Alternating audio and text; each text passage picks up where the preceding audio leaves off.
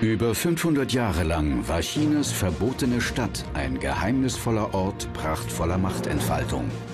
Dann wird sie zum Schauplatz einer welthistorischen Wende. Das Schicksal dieser Frau ist untrennbar mit der Palaststadt verbunden. Mit Charme und Kalkül gelingt es der Konkubine Jehenara, die Gunst des Kaisers zu gewinnen.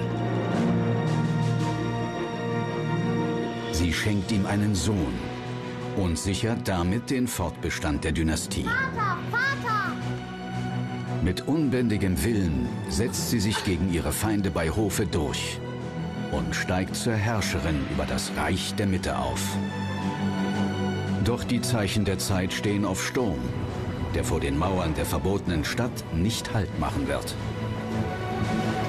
Mit aller Macht will die Konkubine das Reich vor dem Untergang bewahren als Kaiserin Witwe Cixi sollte sie in die Weltgeschichte eingehen.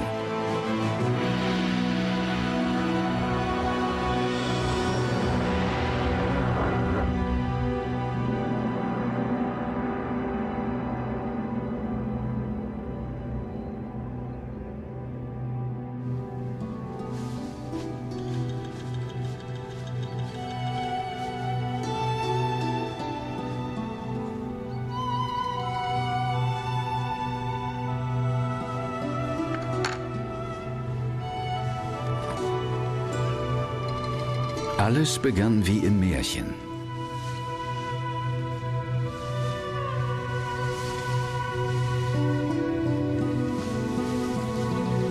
Ein Märchen von einem 15-jährigen Mädchen aus einer verarmten Adelsfamilie in Peking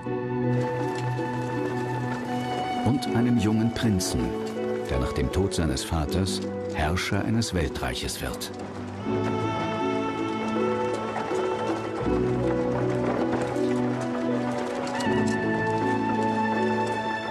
Verbotene Stadt im Jahre 1850. Noch trägt der Hofstadt Trauer, doch schon bald wird es im Palast nur noch ein Thema geben.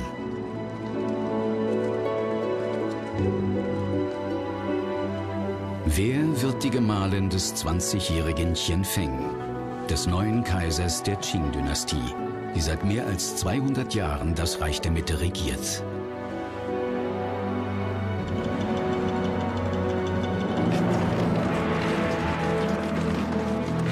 60 Mädchen aus der Sippe des Herrscherhauses wird befohlen, sich in der verbotenen Stadt einzufinden.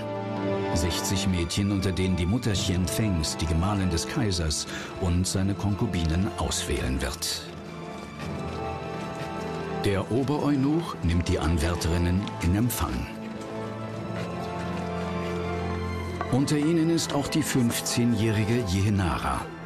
Vor dem mächtigen Tor des himmlischen Friedens heißt es, von der Familie Abschied zu nehmen, denn keinem gewöhnlichen Untertan ist es erlaubt, die verbotene Stadt zu betreten.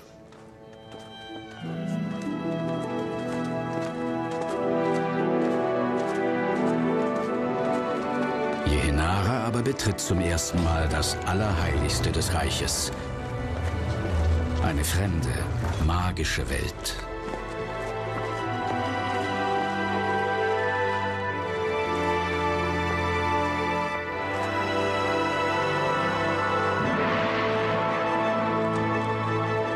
Über eine der fünf Brücken, die den Goldwasserfluss überspannen, führt ihr Weg an den prunkvollen kaiserlichen Palästen vorbei durch ein Nebentor ins Zentrum der verbotenen Stadt.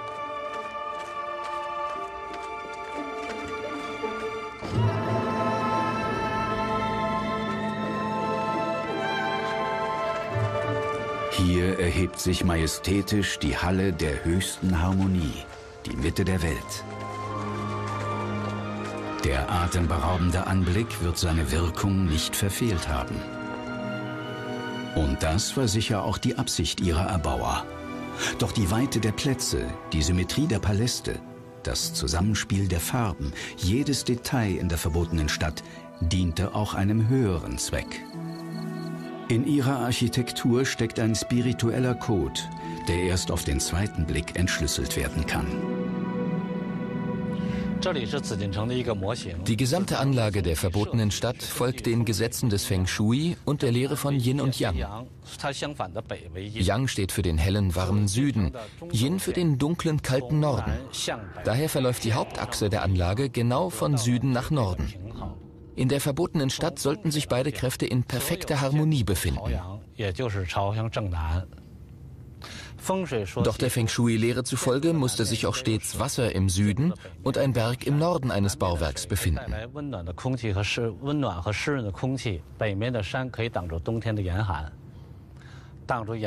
Es gab jedoch weder das eine noch das andere. Daher halfen die Baumeister mit künstlichen Mitteln nach. Im Süden legten sie den Goldwasserfluss an. Im Norden errichteten sie einen Berg, den sogenannten Kohlehügel. Der Berg sollte die verbotene Stadt vor bösen Geistern schützen, aber auch die kalten Winde im Winter abhalten. Der Fluss bildete das Gegengewicht zum Berg, doch sorgte er auch für Kühlung im Sommer.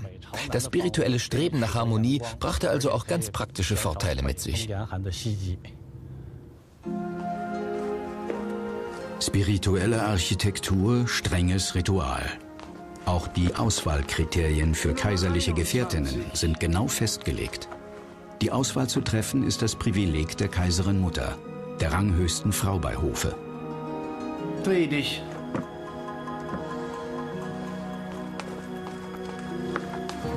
Der unangenehmste Teil der Prüfung ist die körperliche Untersuchung. Hat das Mädchen Schönheitsfehler, Mund- oder gar Körpergeruch? Ist sie noch Jungfrau?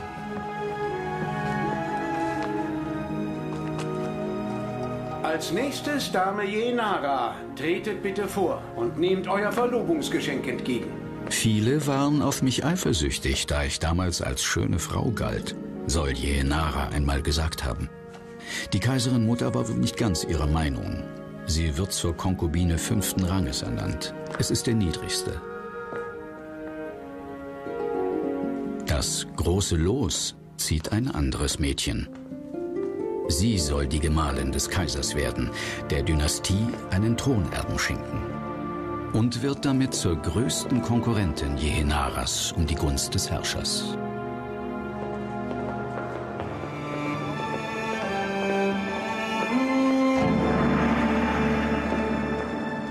Während der Hochzeitszeremonie sieht Jehenara ihn zum ersten Mal. Kaiser Xianfeng. Der Himmelssohn ist das einzige zeugungsfähige Lebewesen in der verbotenen Stadt, einem Universum, bevölkert von über 3000 Eunuchen und fast ebenso vielen Frauen.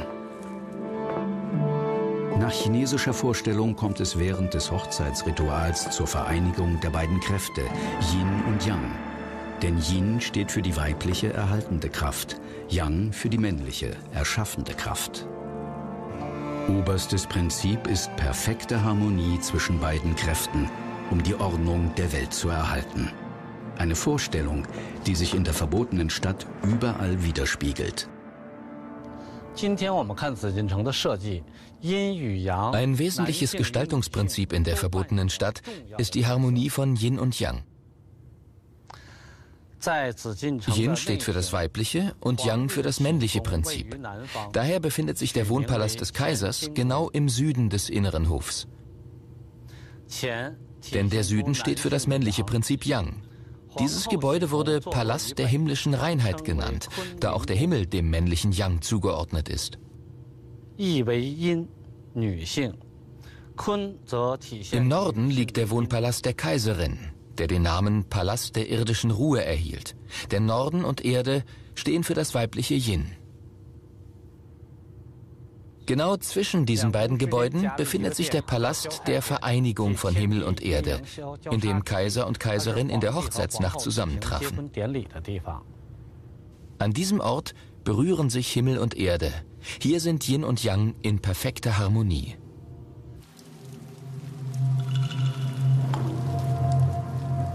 Das Prinzip des Yin, des Weiblichen, des Nichthandelns, hat tragische Folgen für das Leben der Frauen in der verbotenen Stadt. Im Palast des barmherzigen Friedens leben die Konkubinen des verstorbenen Kaisers.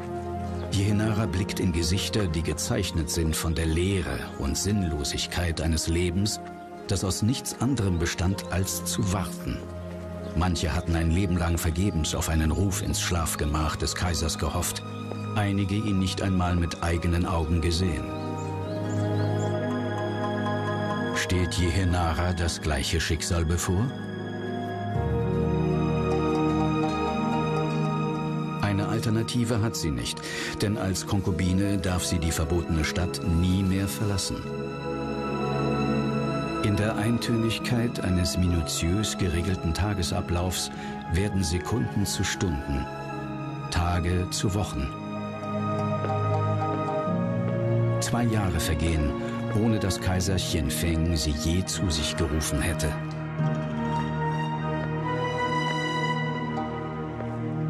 Aus dem Märchen ist ein Albtraum geworden. Ein Leben, eingesperrt in einen Käfig aus purpurnen Mauern und goldgelben Dächern.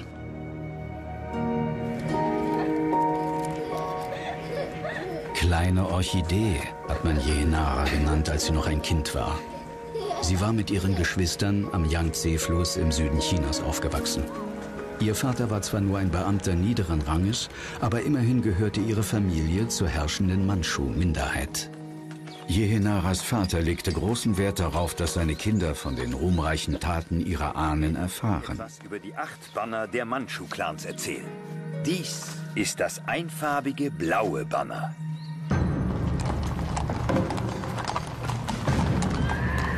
Im Jahre 1644 hatten die acht Banner der Mandschu, eines mongolischen Volksstammes, China erobert. Sie vertrieben einheimische Rebellen die die bis dahin herrschende Ming-Dynastie gestürzt und die verbotene Stadt geplündert hatten. Auf dem Kohlehügel im Norden der verbotenen Stadt entdeckte ein General der Mandschu-Truppen das letzte Zeugnis des Untergangs. Hier hatte sich der letzte Kaiser der Ming an seinem Seidengürtel erhängt. Jetzt waren die Mandschu die neuen Herren in der verbotenen Stadt. Qing nennen sie sich, die Reinen. Übernahme der chinesischen Herrschertradition verhindert jedoch politische und gesellschaftliche Reformen.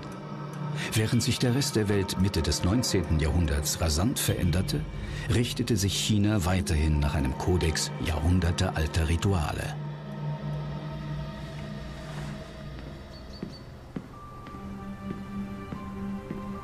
Dame Jenara, ich weiß, dass ihr jederzeit meinen Tod befehlen könnt, sollten meine Worte missfallen. Sprich frei heraus. Euer Diener an der Hai kann für euch von großem Nutzen sein. Es mag sein, dass das Glück im Augenblick nicht auf eurer Seite ist, aber vielleicht kann ich dazu beitragen, den Kaiser auf euch aufmerksam zu machen. Wie kannst du es wagen, dir solche Reden anzumaßen? Bestraft mich, bestraft mich, bestraft mich! Der Sklave hat den Tod verdient! Der Sklave hat den Tod verdient! Genug, hör auf damit! Der Eunuch Andahai hatte die eisernen Regeln der Hofetikette gebrochen. Jehenara muss ihren ersten Diener bestrafen. Andererseits kann sie auf der Suche nach Verbündeten bei Hofe wählerisch sein. Na gut, ich habe es mir überlegt.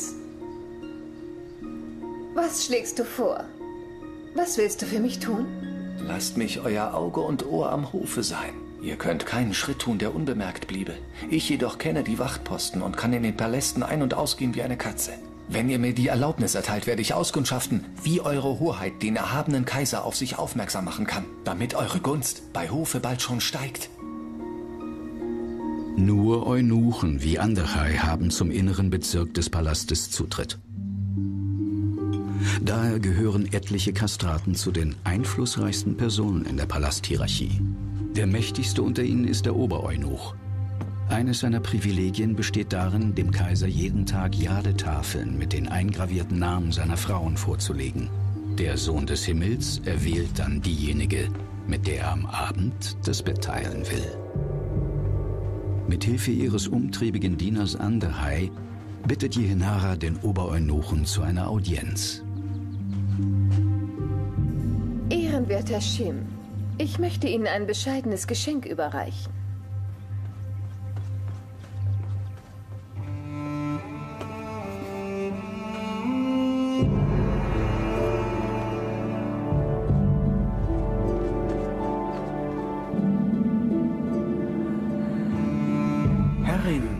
Das ist seiner Majestät Verlobungsgeschenk.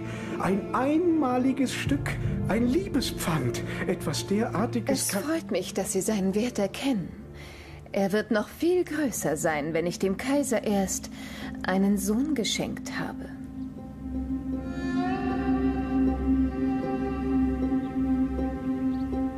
Äh, gewiss, Dame Jenara. Ich verstehe. Ihr könnt euch auf mich verlassen, Herrin. Wenn ihr nichts mehr von mir hört, ist alles geregelt.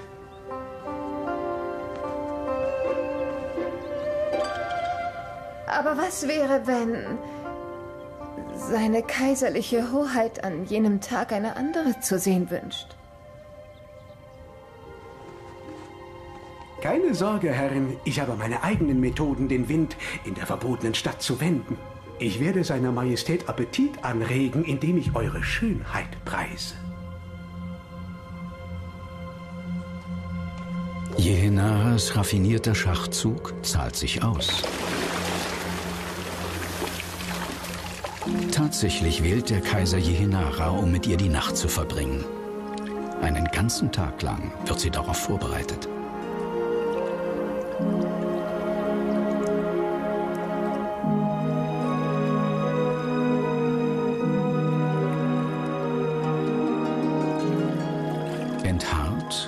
Gebadet und nur in eine seidene Decke gehüllt, wird sie nach Einbruch der Dunkelheit in die Gemächer des Kaisers gebracht.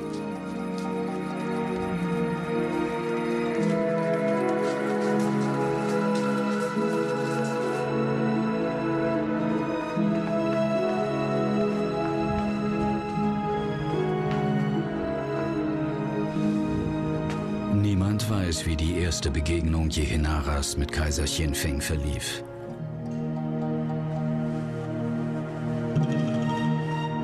Sie auf diesen Moment vorbereitet worden? Eunuchen wie Shim wussten sicher um die Vorlieben des Kaisers.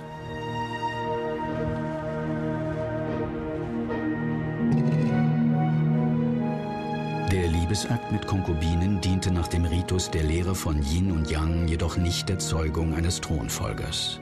Vielmehr sollte sich der Herrscher zurückhalten, um bei der Vereinigung des weiblichen Yin und männlichen Yang seine Kraft zu stärken. Eine Schwangerschaft sollte der Kaiserin vorbehalten bleiben. So jedenfalls die Theorie.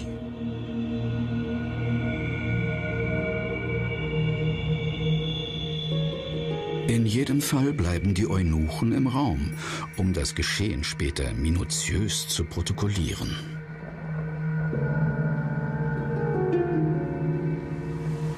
Nach den Regeln des Rituals schlief Jenara nach dem Liebesakt allein, auf der Seite liegend.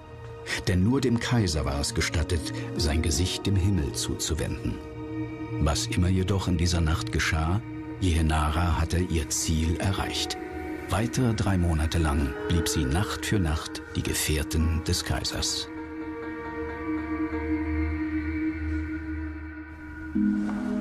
Das Schicksal meint es gut mit der jungen Konkubine. Am 27. April 1856 bringt Jehenara einen Sohn zur Welt. Als Mutter des Thronerben ist sie nach der Kaiserin nun die ranghöchste Frau im Reich. Doch ihr kometenhafter Aufstieg hat seinen Preis. Ihren Sohn Sai Jun wird sie kaum zu Gesicht bekommen, denn seine Erziehung liegt in den Händen der Kaiserin und der Hofeunuchen.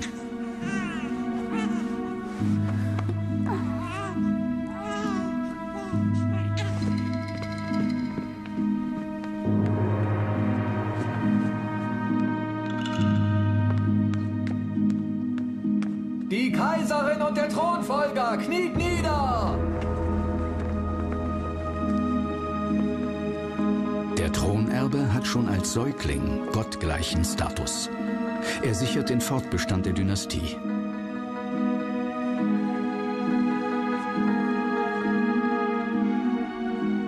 Würde sich Jenara aber mit ihrer Rolle abfinden?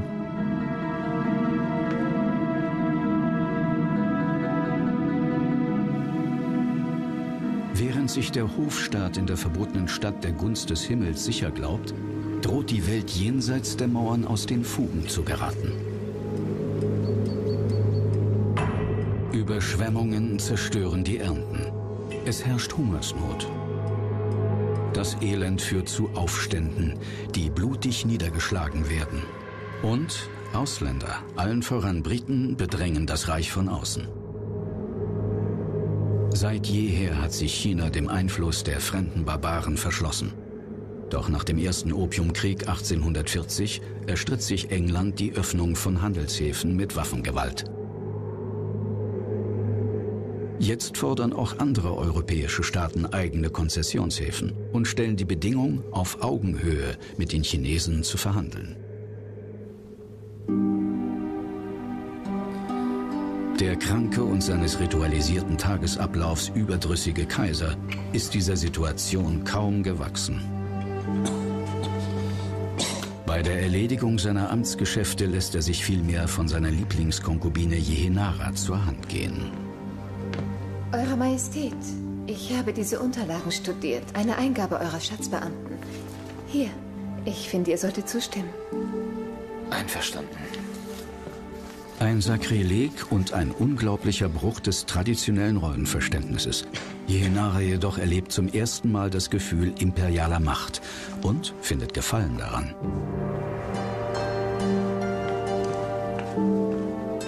Eure Majestät, Prinz Gung und der Ehrenwerte Sushun bitten, empfangen zu werden. Sie mögen eintreten.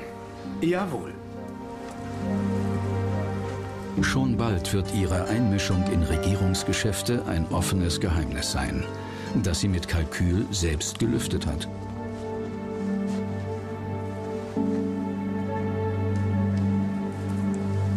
Eure Majestät, Briten und Franzosen bestehen erneut auf eine Audienz, um die Eröffnung diplomatischer Vertretungen zu erörtern. Das Ersuchen dieser Barbaren ist anmaßend. Sie werden Beijing nicht betreten. Aber sie sind nicht allein, sie werden von Truppen begleitet. Sollte man nicht doch eine Audienz gewähren? Auf keinen Fall. Sie sollen alle sterben.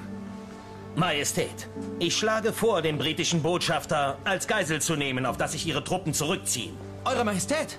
Ich bin der Auffassung, China hat schon genug Demütigungen durch die Barbaren hinnehmen müssen. Die Zeit der Zugeständnisse ist endgültig vorbei.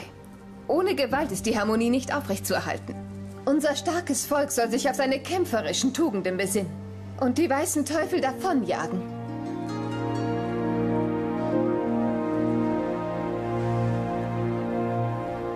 So soll es geschehen.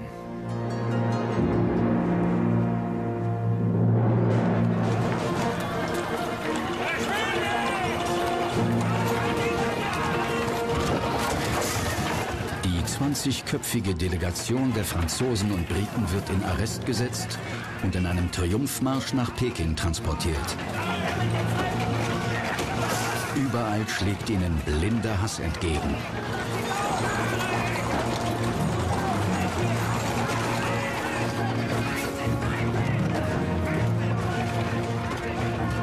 Nur mit Not gelingt es den weißen Teufeln, wie sie genannt werden, ihre Haut zu retten.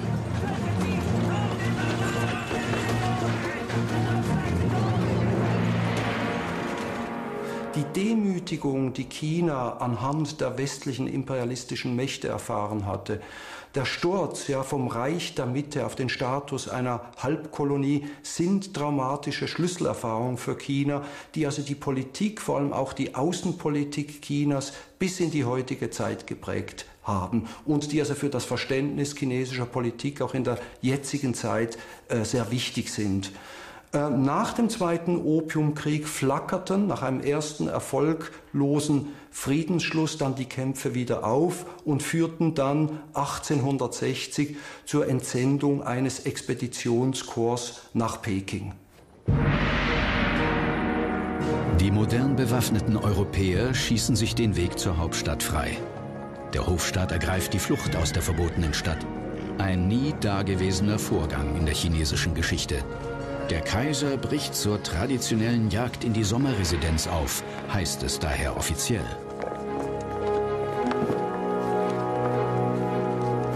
Jehenara hat sich der Entscheidung zur Flucht vehement widersetzt. Es war der erniedrigendste Moment meines Lebens, schreibt sie später. Dennoch flieht auch sie. Ehrenwerter Shem.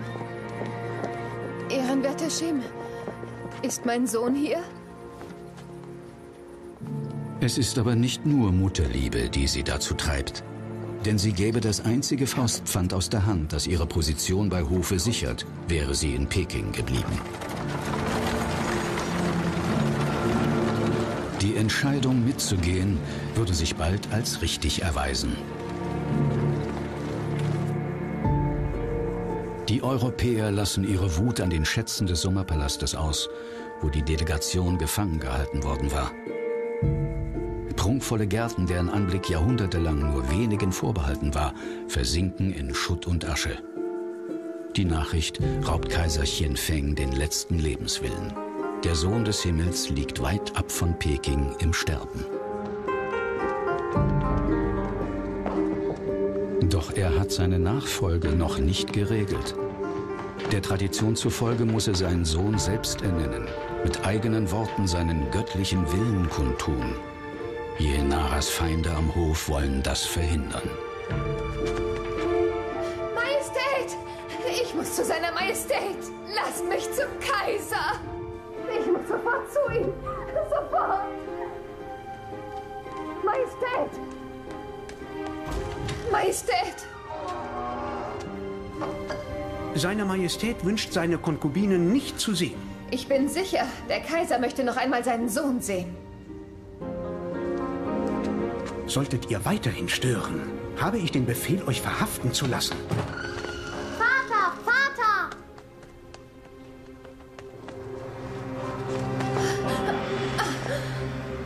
Saijin, mein Sohn, komm her zu mir.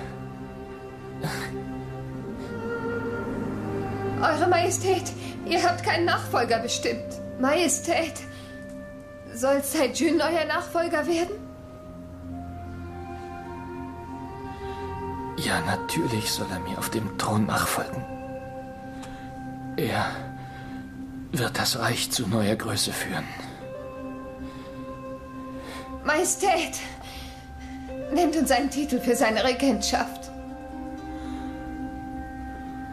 Tong. Tungche. Tungche. Mit dem letzten Atemzug des Kaisers wird dem Protokoll Genüge getan. Tongje heißt die Regierungsdevise des neuen Kaisers. Gemeinsam herrschen.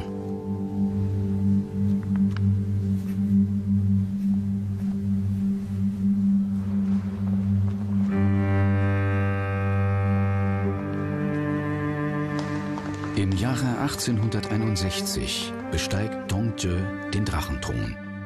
Ein sechsjähriges Kind ist Herrscher über ein Weltreich.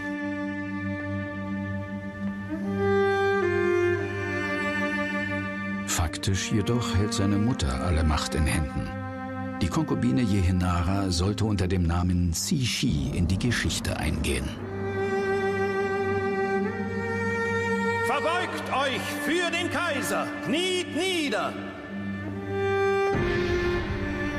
Der kaiserliche Hof aber ist auf eine sich verändernde Welt außerhalb der Palastmauern nicht vorbereitet.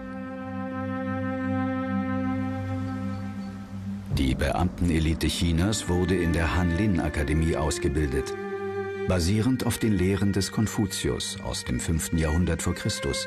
Lehren, die zur Vollendung der Harmonie zwischen Herrschern und Beherrschten führen sollten. Die Vorbereitung auf das Zusammentreffen mit Ausländern, ihren kommerziellen Interessen und dem individuellen Wettbewerbsdenken stand nicht auf dem Stundenplan.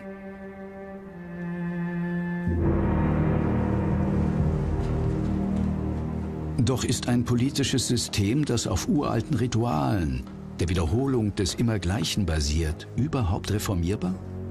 Als der volljährige Dungze formal die Herrschaft übernimmt, garantiert seine Mutter Cixi den Erhalt des Status quo. Wir entscheiden hiermit. Die Edikte erlässt zwar der Kaiser, die Entscheidung aber fällt die allmächtige Kaiserin Witwe, die hinter einem Vorhang die Audienzen verfolgt. die Steuern in einigen Teilen der Provinz zu senken. Schon Zeitgenossen nannten diese Praxis Herrschaft hinter dem Vorhang. Cixi ist nicht willens, ihre Macht und ihre Privilegien abzugeben. Wie lautet eure Entscheidung, Majestät? Das Ersuchen wird abgelehnt. Ein in der chinesischen Geschichte einmaliger Vorgang. Cixi überschreitet damit die Grenzen der Tradition, deren Bewahrung sie durchsetzen will. Der Himmelssohn wird zum Statisten degradiert. Unverrückbar. Tung Tze, hinter den Mauern der verbotenen Stadt aufgewachsen und sein Leben lang von Eunuchen umgeben, sucht Zuflucht in weltlichen Vergnügungen. Inkognito unternimmt er immer häufiger Ausflüge in das Nachtleben Pekings. Der Kaiser, der über einen Harem von Konkubinen verfügt, verkehrt mit gewöhnlichen Prostituierten.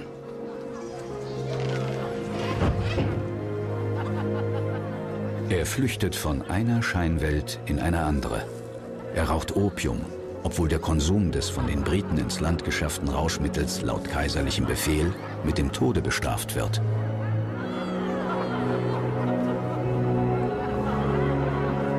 Seine Gesundheit hält diesem Lebenswandel nicht lange stand.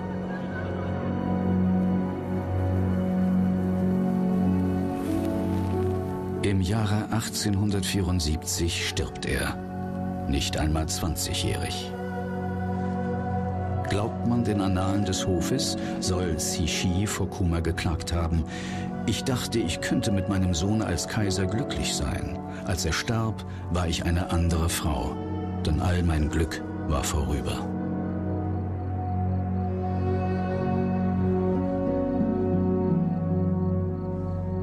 Dennoch bleibt ihr, wenn Cixi sie tatsächlich empfand, keine Zeit für Trauer. Denn die Frau des Verstorbenen, ihre Schwiegertochter Alute, ist schwanger.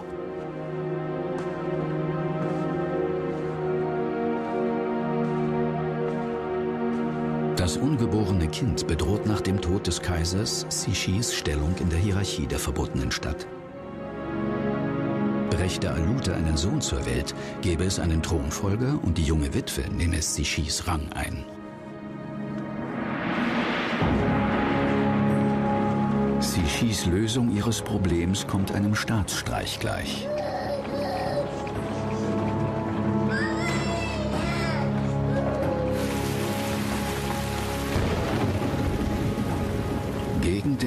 Der höchsten Beamten ernennt sie ihren erst dreijährigen Neffen zum Thronfolger und lässt ihn umgehend in die verbotene Stadt bringen. Den neuen Kindkaiser Guangxu sollte das gleiche Schicksal erwarten wie seinen Vorgänger. Die Zeit im Reich der Mitte steht still. Eisern hält Cixi die verbotene Stadt im Griff. Sie sieht sich auserwählt, die große Tradition des chinesischen Kaisertums zu bewahren. Doch gefangen in ihrer eigenen Welt übersieht sie die Zeichen des heraufziehenden Unheils, das vor den Mauern der verbotenen Stadt nicht Halt machen wird.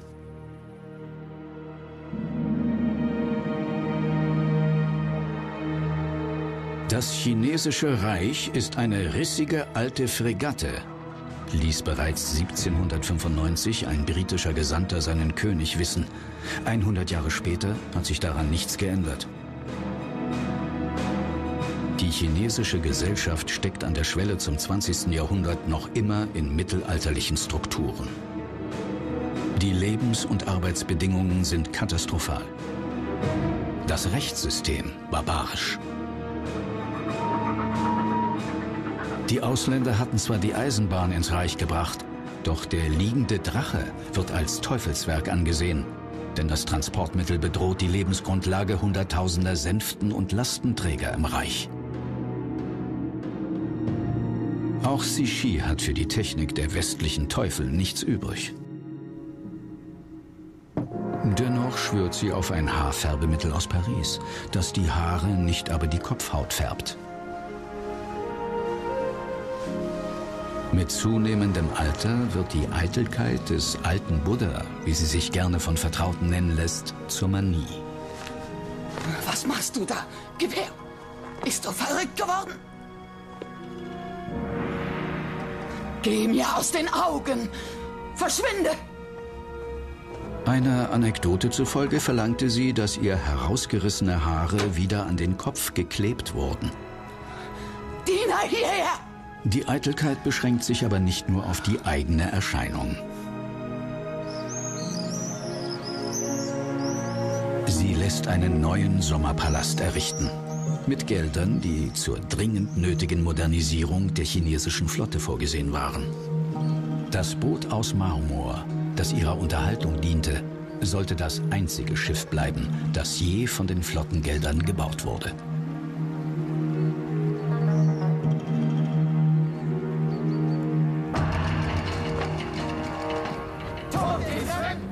Im Jahre 1900 entlädt sich die aufgestaute Wut des Volkes. Nicht jedoch gegen Xi und die herrschenden Qing, sondern gegen die westlichen Teufel, die Ausländer. Die Sekte der Boxer behauptet, der Einfluss der Fremden sei der Grund für den Niedergang Chinas.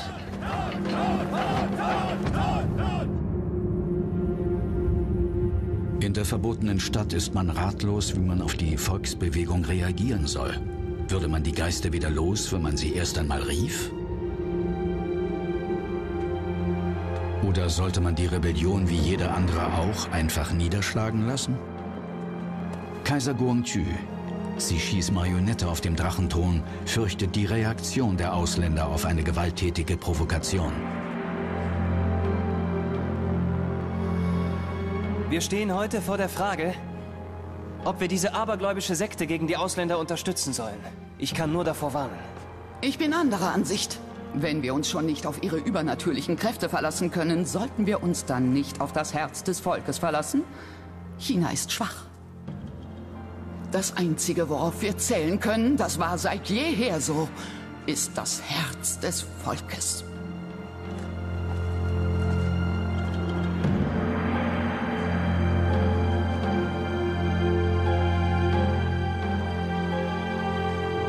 Cixis Ratschlag wird ein kaiserliches Edikt erlassen, in dem die sogenannten guten Elemente unter den Boxern zu regulären Truppen ernannt werden.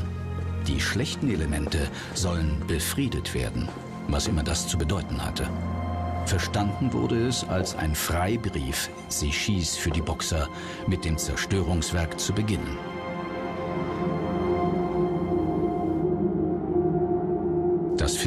Ausländischen Gesandten liegt in unmittelbarer Nähe zur verbotenen Stadt. Hier leben rund 3300 Diplomaten, ihre Familien sowie einige Dutzend Soldaten zur Bewachung.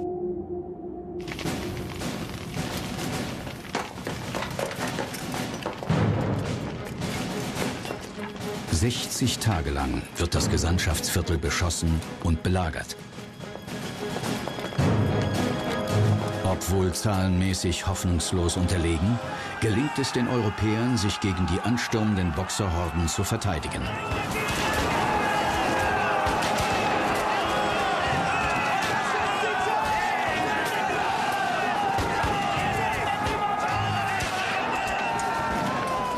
Der glühende Hass der Bauernhorden kann ihre fehlende militärische Ausbildung nicht wettmachen. Cixis Einschätzung ändert sich binnen weniger Tage.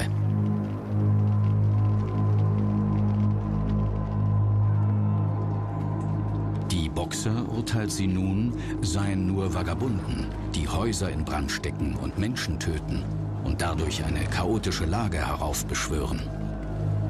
Diener hierher! Geh hinaus und sag ihnen, sie sollen mit dem Kämpfen aufhören. Ich kann bei dem Lärm nicht schlafen. Los, beeil dich! Durch das Leben innerhalb der Mauern des Palastes hatte sie offenbar jeden Sinn für die Realität verloren. Man hat den Eindruck gewonnen, dass eigentlich am Hofe eine konservative Gruppe von Mandschuren am Werke ist, den es an politischer Durchsicht, äh, auch an politisch aktivem Handeln mangelt und dass dies eigentlich äh, für China eine Katastrophe darstellt. Eine kurzfristige Folge war, dass äh, die Boxereignisse dazu geführt haben, dass die westlichen Mächte wiederum ein Expeditionskorps nun ausmobilisiert haben und nach China verschifft haben. Dieses Expeditionskorps hat sich dann nach Peking aufgemacht mit dem Ziel, die Hauptstadt zu erobern, sodass also die Kaiserin Witwe Zirchi zum zweiten Mal gezwungen wurde, äh, die Hauptstadt fluchtartig zu verlassen.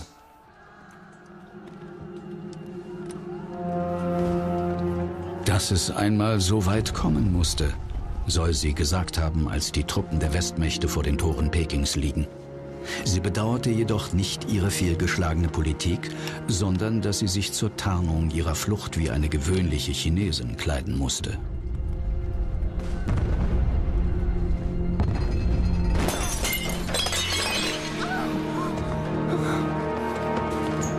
Den Annalen des Hofes zufolge schlägt eine verirrte Kugel in ihren Palast ein. Sie ist wie ein Fanal des bevorstehenden Untergangs. Im Herbst des Jahres 1900 fliehen Cixi und Kaiser Guangju aus der verbotenen Stadt.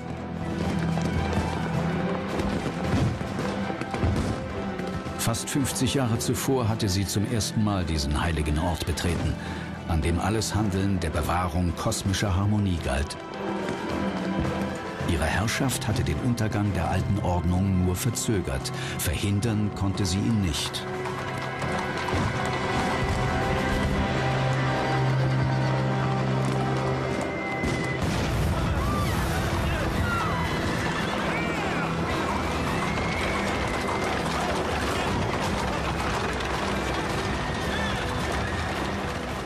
Ihrer Flucht war der Nimbus der verbotenen Stadt für immer zerstört.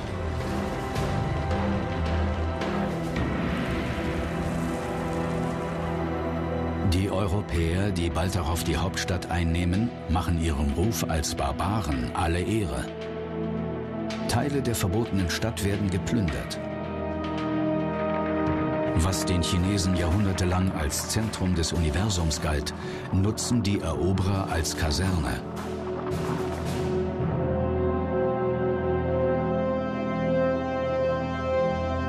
Ein französischer Diplomat schreibt dennoch ehrfürchtig, die Dinge hier tragen ein nie geschautes Gepränge von Alter und Geheimnis. Es ist ein einziger grandioser und düsterer Saal, ganz in verblichenem Gold. Die verbotene Stadt hat bis heute nichts von ihrer Faszination verloren. Sie ist und bleibt ein einmaliges Zeugnis einer fremden, fernen Welt.